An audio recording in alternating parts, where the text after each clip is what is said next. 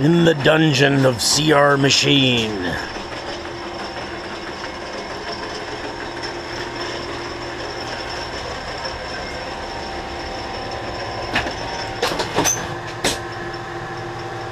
We're making making these parts right here.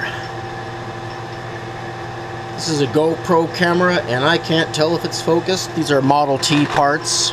There's going to be part of the radiator support bolts.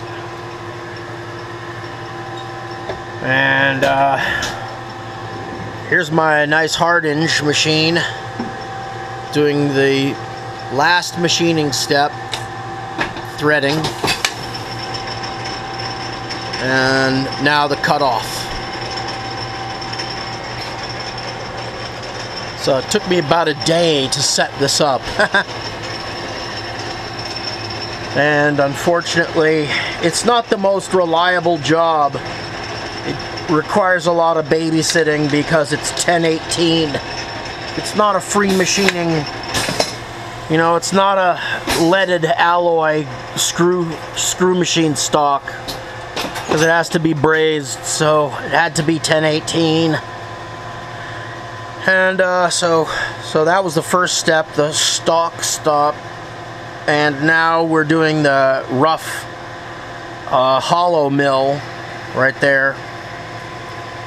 It's got three cutting teeth. Low speed low feed. That's what steel likes. And it's 1018 so you can see it's really really hard to control the chips. Stringy chips. That's that's what makes this uh, a babysitting job. You got to babysit the machine a lot.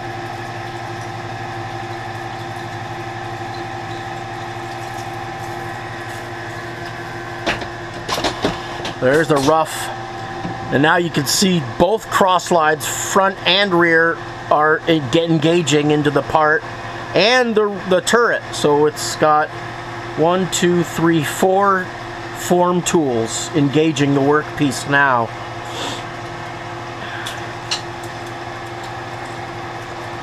Forming the, uh, relieving the back end of the part and forming the contour of the bolt head. It's like a carriage, carriage bolt head.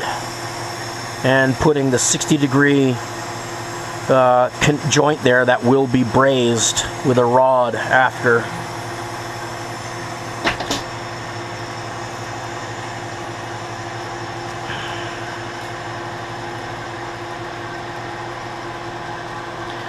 So once you set up a machine like this, you don't want the tool bits to get dull. You do everything you can to protect the tool bits because setting it up takes a long time. This is a finishing adjustable hollow mill. It finishes the, uh, the, the fastener. It's a 3 8 24 thread. So it finishes the outside diameter of the thread. And then we're relieving that hole right there. Part of the brazed connection. Will be the brazed connection. And then we I found that it's good to do the front cross slide with these forming tools again just to make sure it's to size. I've been having a little bit of trouble with consistency on that. See, it took a little bit more off. There it is. Now, last step, threading.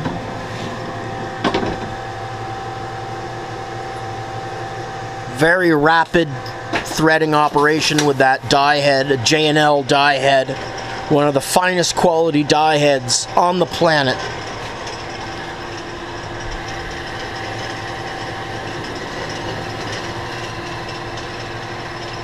Course, J&L, Jones and Lamson from Springfield, Vermont went out of business in uh, the late 90s.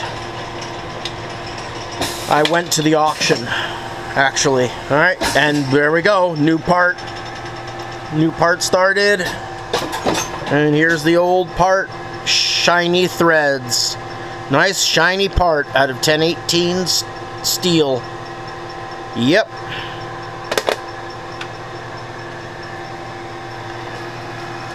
Inside the CR Machine dungeon.